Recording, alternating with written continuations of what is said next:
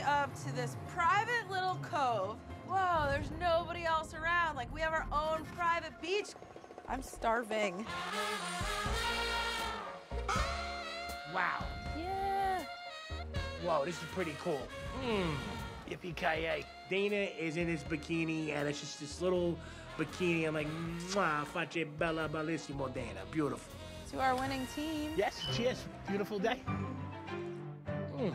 Definitely better than cleaning the dining room. All the linens need to be pressed.